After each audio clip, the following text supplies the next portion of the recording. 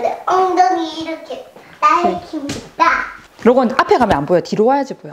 안녕하세요. 샤인킴입니다. 날킵니다. 오늘은 우리 링컨이의 100일이에요. 딸꾹. 우리 100일 동안 크느라고 수고하는 링컨이 지금 딸꾹딸꾹 하고 있습니다. 로건! 링컨이도 100일 동안 크느라 수고하고 있고 저도 링컨이 100일 동안 키우느라 수고했죠.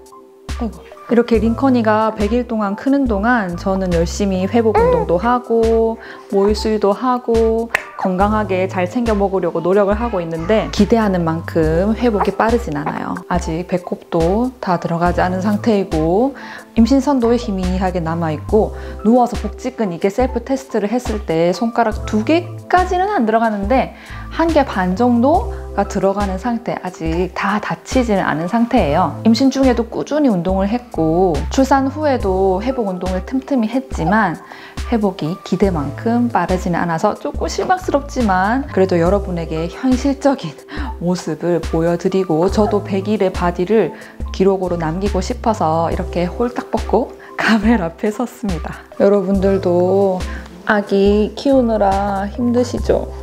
우리가 출산 후에 막 달리기 경주를 하듯이 몸매를 회복하라는 그런 기준은 사실 존재하지 않아요. 우리가 임신하고 출산하는 것도 힘든데 이 아기까지 열심히 키우고 있잖아요. 그래서 우리 몸에게 잘했다, 수고했다 이렇게 응원과 칭찬도 해주시고요. 산후 100일부터 산후 6개월까지는 조금 더 강도 있는 회복 운동을 할 수 있으니까요.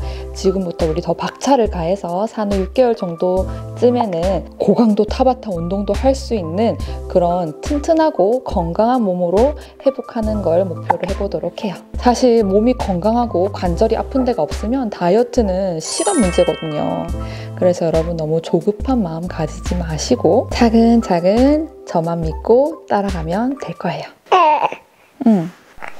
앞으로도 저와 함께 여정하기를 원하시면 구독과 좋아요 꼭 눌러주시고요. 매주 월요일 저녁에 새로운 컨텐츠 올라갈 거니까 꼭 알림 설정 해주세요.